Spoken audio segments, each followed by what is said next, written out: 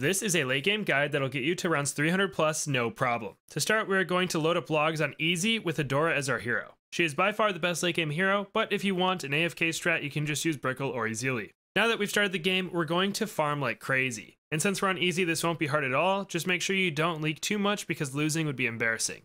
Anyway, I opted for 6 420 farms, eating them with a 105 village, and getting the farms back again. This will give us tons of money to work with going forward. Next, we're going to get a VTSG. If you don't know what this is, you can click the card in the top right to see a video on it, but we're going to get a 2221 VTSG in the water. This means that we'll place a 031 Ice Monkey near the water and place down a Super Monkey on the frozen pond. Then we'll proceed to sacrifice 50k worth of primary, military, and magic monkeys to the Sun Temple, and then we'll get Adora to level 20 and place down a 250 and 205 Super Monkey near the beginning of the track. Finally, we'll sacrifice 50k worth of all four types of monkeys to the True Sun God, making a VTSG. And after both of these sacrifices, remember to place down a village buffing the VTSG so it can see camos. Then we'll get this guy to a 520 Super Monkey and buff it with a 520 Permabrew Alchemist. Now we're going to get some Sun Temples down. You can fit quite a few of these guys, but four or five will do the job.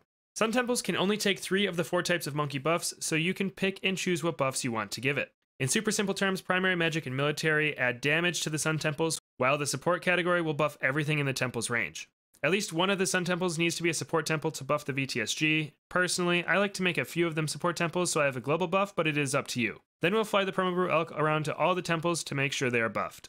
Once we have all the temples up, we can start with the normal buffs. We're going to place down a 050 engineer and as many 040 engineers as you want. And we're going to tech bot these guys to the VTSG to keep it permanently overclocked.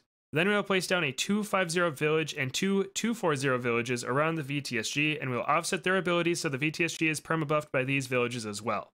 Next, we'll place down a portable lake and get a 5XX submarine and buccaneer to buff the VTSG and lower all of our cooldowns, and this is why we put the VTSG in the water.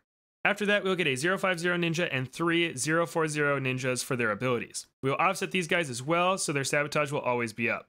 Then we'll get an X5X glue gunner and techbot him as well. Then all we need is a 520 Ice Monkey, 520 Sniper, a 025 Ice Monkey, a 025 Glue Gunner, a 520 Bomb Shooter, and a 105 Alchemist. After you get all of these support guys down, you can fill the track with 204 Super Monkeys as their damage per size is pretty good.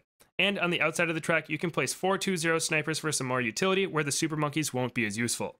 Then we'll fly the Alchemist around to buff everything with a 250 helicopter.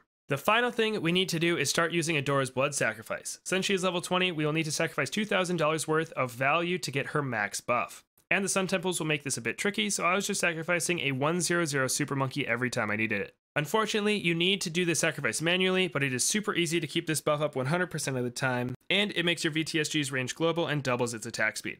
But if you do all these things, you should make it super far into free play.